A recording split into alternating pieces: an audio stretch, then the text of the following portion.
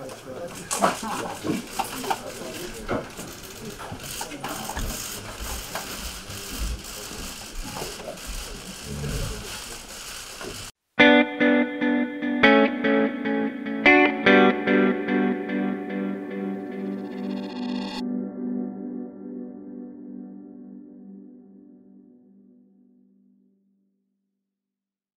Und damit herzlich willkommen zur heutigen Pressekonferenz, auf der wir Ihnen unseren neuen Cheftrainer Dieter Hecking vorstellen wollen. Ähm, bei mir ist natürlich auch unser Sportvorstand Jonas Bold. Und Jonas, ich würde dich dann gleich bitten, einmal deine ersten Arbeitstage beim HSV zu skizzieren, die ja in der heutigen Trainerverpflichtung gemündet sind.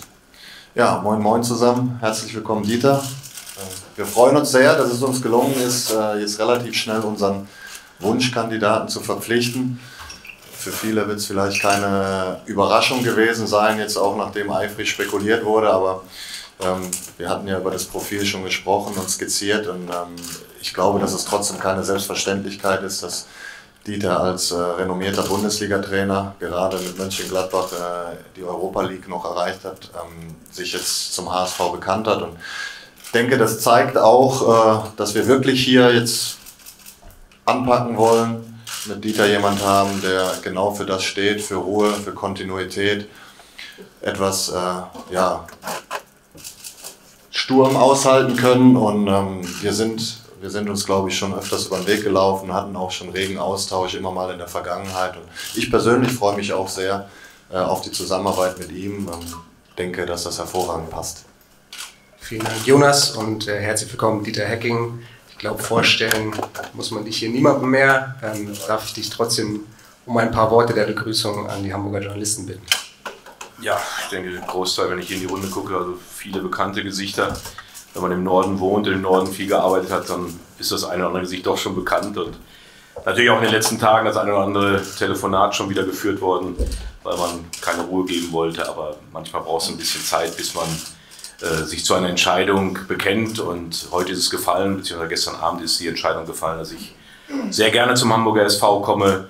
Ähm, ja, diesen Verein eigentlich seitdem ich kleiner Junge war, immer verfolgt habe. Ich habe es mal irgendwo erzählt vor kurzem mal im Interview, dass ich immer Kevin Keane-Fan war zu seiner Hamburger Zeit. Und das hat mich so ein bisschen immer zum HSV hingezogen.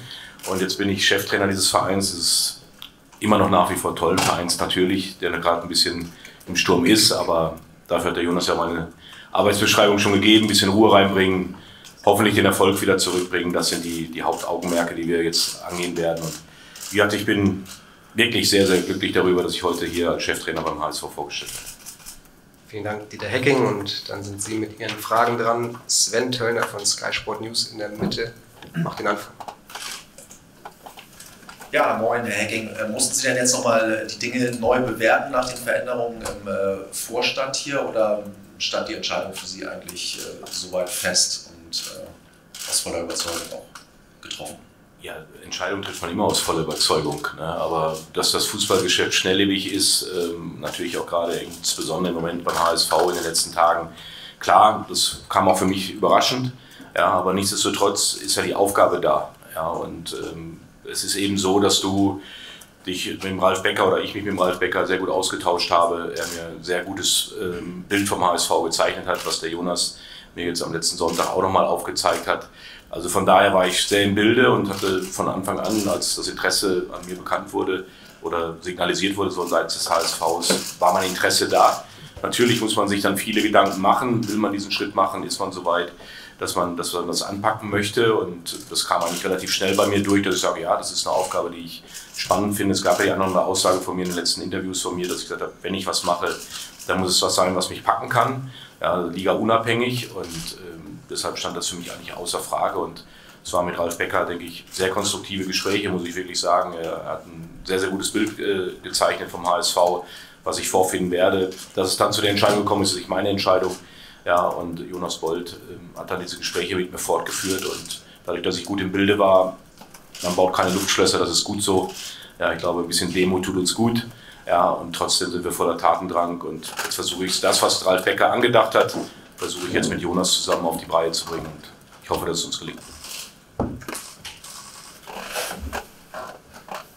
Thorsten Vorbau in der Fernsehen. Tara Hacking. Sie wissen, es hat schon viele Trainer in den vergangenen Jahren vor Ihnen hier gegeben. Ähm, ist das auch so ein bisschen der Reiz, das mal besser zu machen und mal länger auszuhalten hier? Nein, das sollte nicht der Reiz sein. Ich glaube, jeder meiner Vorgänger hat mit bestem Wissen und Gewissen versucht, äh, das Optimale rauszuholen. Dass es nicht gelungen ist, das steht mir außen vor, das zu bewerten. Heute bin ich da mit Ideen, mit Versuchen, mit meiner Art äh, hier erfolgreich zu arbeiten. Und äh, was meine Vorgänger angeht, sie haben, glaube ich, alle versucht, das Beste zu machen. Und mal gelingt es, mal gelingt es weniger gut. Das habe ich selber ja auch schon erfahren dürfen. Mal ist man total erfolgreich, man fällt von einem Sieg in den anderen und dann gibt es auch Phasen, wo es eben nicht so gut läuft. Und ja, deshalb stelle ich mich dieser Aufgabe jetzt, aber das war nicht der Grund, äh, es irgendwie besser zu machen als meine Vorgänger, weil ich glaube, das weiß ich selber, jeder hat seinen Ansatz und jeder versucht immer erfolgreich zu arbeiten. Mats Nicholson, NDR 2. Sie haben ja in Wolfsburg eine Erfolg sehr erfolgreiche Zeit gehabt, auch in Gladbach das Saisonziel Europa-Pokalqualifikation erfüllt. War die zweite Liga kein Hindernis oder was Sie abgeschreckt hat? Nee, genau, das ist es. Überhaupt nicht. Weil ich bin jetzt äh, 14 Jahre Bundesliga-Trainer gewesen. Ich kenne jeden Platzwart, ich kenne jeden Zeugwart der Bundesliga, ich kenne jede Anfahrt. Ja, und wenn man dann an so einem Punkt ist, wo man über das Ende in Gladbach nicht gerade glücklich war, weil man gerne natürlich das auch fortgeführt hätte, was man angefangen hat, aber dann ist das eben auch die Schnelligkeit des Geschäftes, dass man sich mit neuen Aufgaben beschäftigen muss. Und ich habe mir die Frage gestellt, was will ich?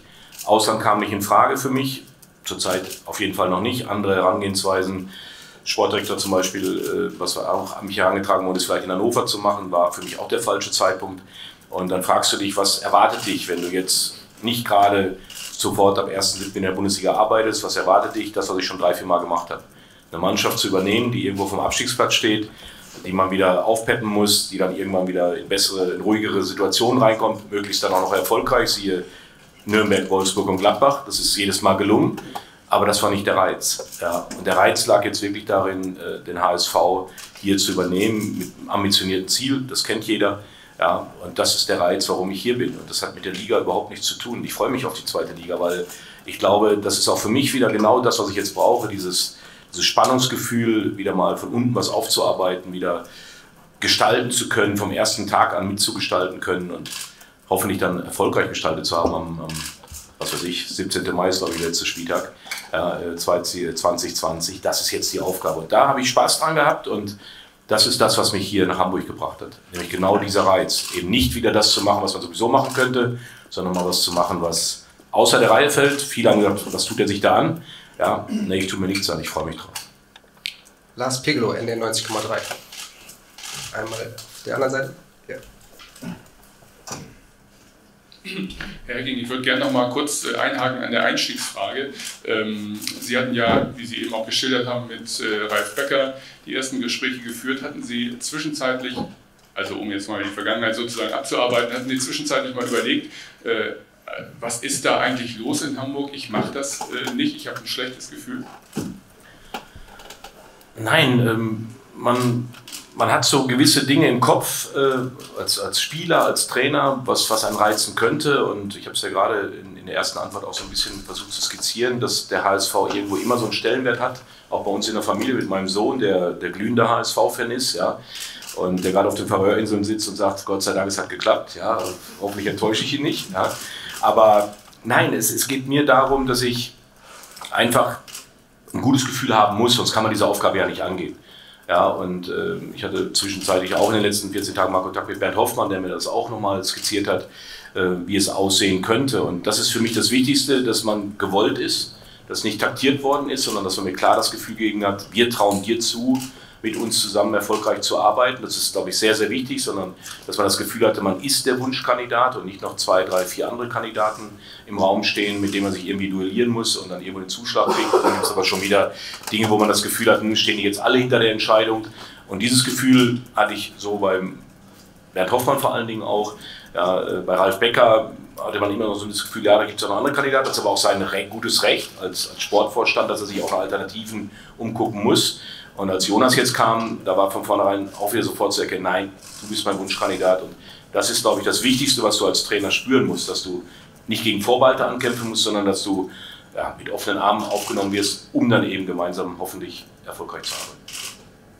Darf ich einmal noch einen nachschieben? Ich habe es gerade Ich bin noch nicht aus der Hand gerissen worden. Das war der Fehler. Ja, ähm, vielleicht ähm, können Sie einmal skizzieren, Herr Ging, es gibt ja jetzt noch kein klares Bild der Mannschaft. Also es äh, sind einige Spieler gegangen, einige gekommen. Es wird noch sicherlich Veränderungen geben. Was muss in kurzen Worten vielleicht aus Ihrer Sicht geschehen, damit man äh, tatsächlich am ersten Spieltag oder so sagen kann, wir sind gut genug aufgestellt äh, für den Aufstieg? Ganz einfach arbeiten.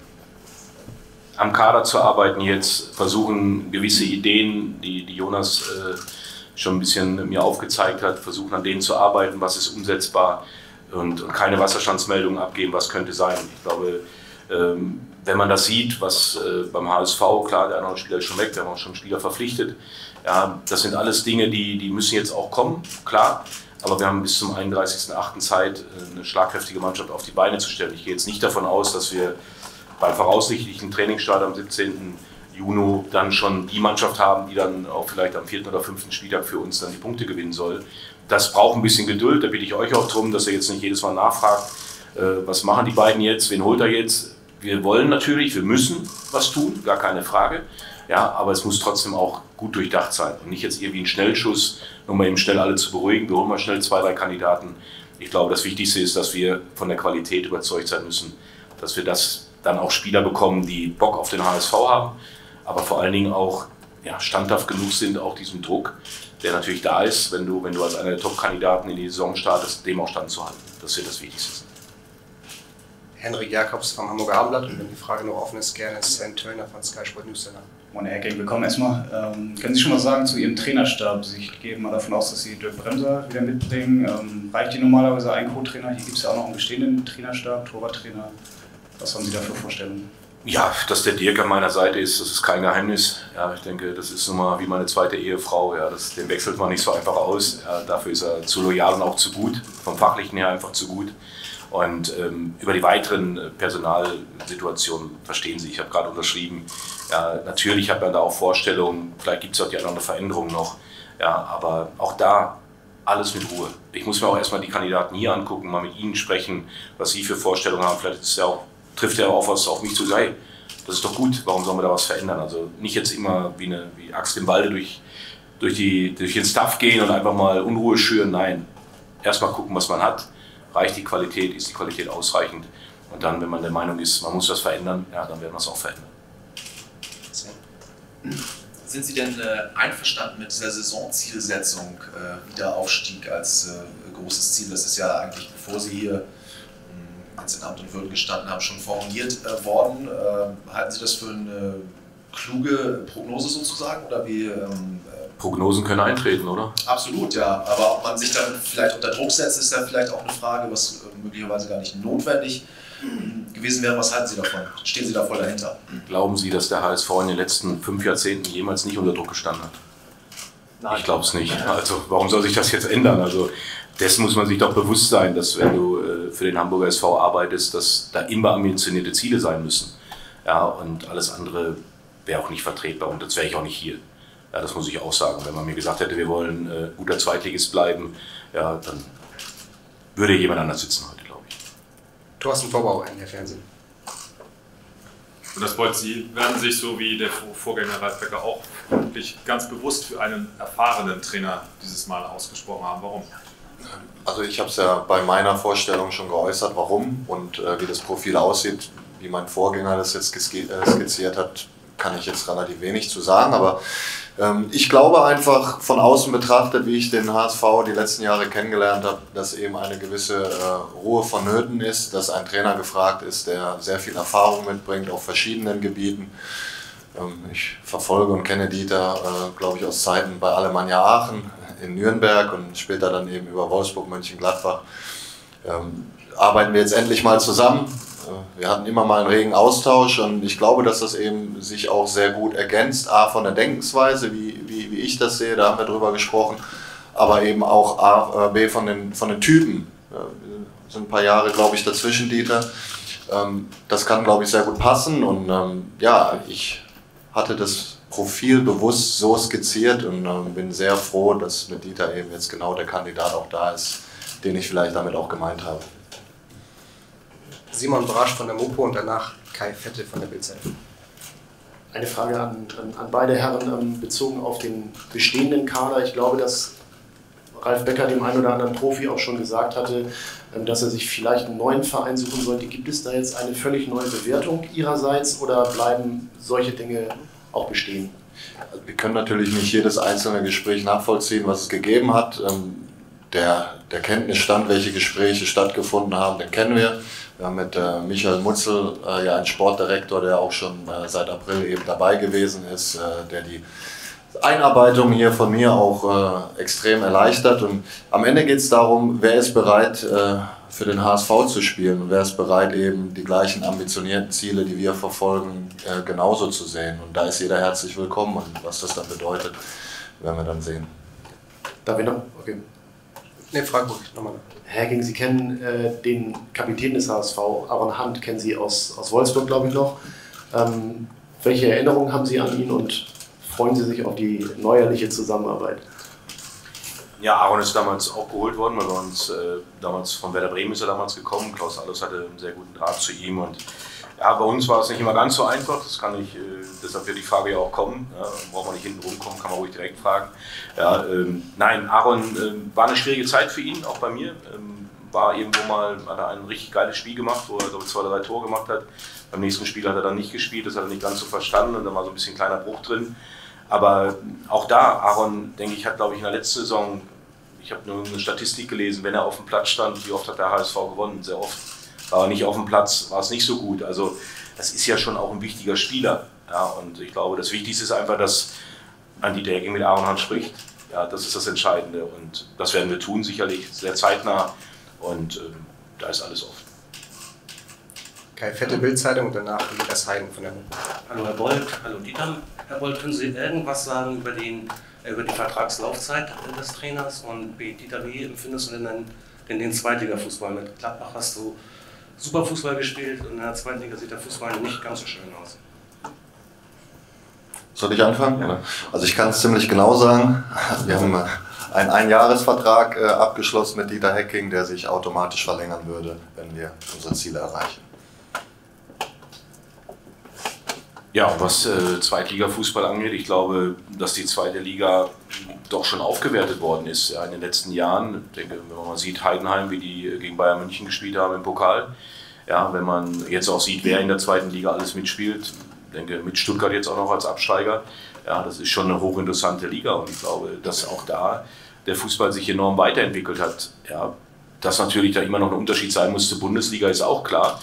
Aber äh, letztendlich muss man sich den Begebenheiten anpassen. Ja? Sprich anpassen, nicht, dass wir äh, hoffentlich nur Rumpelfußball spielen, aber äh, so sehe ich die zweite Liga nicht. Ich glaube, in den vergangenen Jahren hat die zweite Liga sportlich und auch fußballerisch deutlich zugelegt.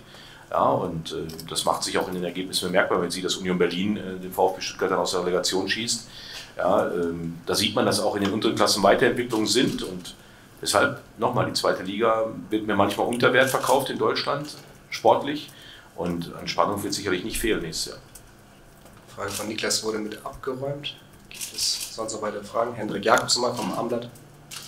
Herr King, Sie haben vor ein paar Monaten mal gesagt, dass Sie sich das irgendwann mal vorstellen könnten, auch Bundestrainer zu werden. Jetzt sind Sie erstmal beim HSV. Würden Sie sagen, die Herausforderung ist ähnlich groß?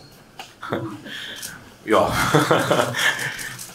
ja, also nochmal, wenn man, wenn man den HSV mal als Verein nimmt, das, das ist etwas, ähm, wo schon eine riesen Herausforderung ist, gerade auch in der jetzigen Situation. Aber das bin ich halt. Ich mag lieber Herausforderungen, wie dass ich irgendwo Beamtenfußball oder Beamtenarbeit abliefere. Nichts gegen Beamte, ja, nicht falsch verstehen, aber im Fußball braucht man das mal, dieses, dieses Wort. Ja, ich, ich will Fußball leben, ich will die Leidenschaft führen, ich will auf dem Platz stehen. Und ich glaube, es könnte so sein, dass ich am richtigen Ort bin gerade. Ja, da oben Rasmus Godau für Sport 1. Herr Hecking, Sie haben auch vor kurzer Zeit den Umgang mit Trainern kritisiert. Jetzt gab es vom HSV auch zwei Entlassungen in der letzten Saison. Steht dann Ihre Verpflichtung einen gewissen Widerspruch zumindest zu Ihren Worten? Ja, ja und nein. Ich habe kritisiert, dass äh, selbst jetzt, wenn du erfolgreich arbeitest, äh, dass Trainer in die Kritik geraten. Nochmal, das ist Vereinsvorständen immer vorbehalten, äh, auf den, an den leitenden Positionen auch was zu verändern. Das habe ich damit nicht gemeint. Aber für uns Trainer wird es natürlich schwieriger. Ja, wenn, du, wenn du nicht erfolgreich bist, weißt du, was in der Regel kommt. Aber ich habe auch gesagt, dass ich mir wünschen würde, dass viele Vereine mal wieder durch eine Talsohle durchgehen mit einem Trainer. Weil ich glaube, daran wächst erst so ein Verhältnis. Wenn man mal als Verein mit einem Trainer, mit einem leitenden Angestellten durch eine Delle gegangen ist, wo man sich mal gerieben hat, wo man mal unterschiedlicher Meinung mal sein muss, wo man konstruktiv Kritik äußern soll, ja, dann halte ich das für wichtig, dass man da mal durchgeht und nicht sagt, gut, okay, das passt nicht mehr, wir machen was Neues. Und das würde allen ein bisschen gut tun, weil auch ihr schreibt über Kontinuität, Konstanz. Äh, jeder möchte das gerne, die Vereinsverantwortlichen wollen es gerne, wir Trainer möchten es gerne. In der letzten Zeit ist es selten gelebt worden, weil es daran fehlt, dass man nicht gut kommuniziert, weil man nicht mehr bereit ist zu streiten, konstruktiv zu kritisieren, mit dem Ziel, gemeinsam wieder erfolgreich zu sein. Und das würde ich mir halt für uns Trainer häufiger wünschen, dass so gearbeitet wird. Und ich glaube, dass ich mit meiner Meinung äh, nicht ganz alleine stehe, weil das betrifft jeden, der hier im Raum sitzt. Lars Peglo, NDR 90,3. Herr Hecking, bislang ist der 17. Juni als äh, Trainingsstart geplant. Äh, kurze Frage wäre, ob das äh, dabei bleibt als erstes. Und was machen Sie bis dahin? Also werden Sie sofort Ihr Lager aufschlagen oder werden Sie nochmal zwei Wochen irgendwo hinfahren an den Strand und dann mit Laptop und Handy äh, das so gestalten, dass sich Ihre Familie total über einen erholten Urlaub freut? Ja, so äh, wird es nicht sein. Meine Frau hat schon, wenn, äh, dann von 8 bis 22 Uhr Handy aus, wenn ich in Urlaub fahren würde. Das wird nicht gelingen. Also nein, es ist schon so, natürlich brauche ich auch mal äh, eine Woche Minimum Urlaub, wo ich mal raus bin. Ja, aber die Arbeit ruft natürlich jetzt auch. Da kann man sich nicht ganz rausziehen. Ja, das wird ein enger Austausch sein mit Jonas, äh, mit Spielern äh, zu sprechen, zu telefonieren, vielleicht auch zu treffen. Das wird natürlich jetzt parallel auch im Urlaub stattfinden müssen, weil da können wir keine Zeit verlieren im Moment. Also wir können nicht jetzt sagen, der, der Hacking geht meinen Urlaub, der Jonas Boll geht meinen Urlaub und dann haben wir schon alles. Also das wird nicht passieren. Und Trainingsstart, ja, ist im Moment 17.06. Wir werden uns jetzt im Anschluss an die PK nochmal zusammensetzen und äh, mal die Trainingsvorbereitung nochmal durchgehen. Trainingslager, ja, wann, wo, wie. Ja, Freundschaftsspiele mal gucken, was gibt es an Anfragen, wie passen die rein, dass man da relativ schnell auch äh, die Vorbereitung stehen hat. Das wird jetzt wichtig.